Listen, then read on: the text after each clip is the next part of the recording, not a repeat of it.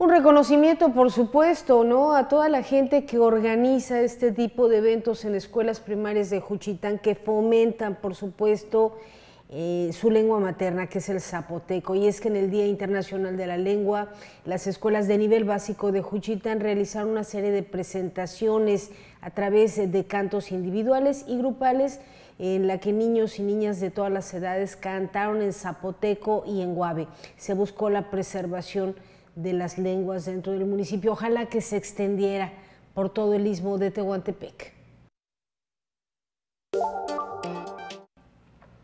En otro tipo de noticias no muy agradables, eh, con una movilización policíaca se realizó la detención eh, por parte de la Fiscalía General de la República de un presunto narcomenudista, esto en Ciudad Ixtepec. Los hechos ocurrieron en la colonia Estación cuando los agentes bloquearon el trayecto de esta camioneta donde se desplazaban los señalados. Procedieron con la detención, ambos ocupantes eh, del vehículo desaparecieron del lugar. ¿Qué le parece?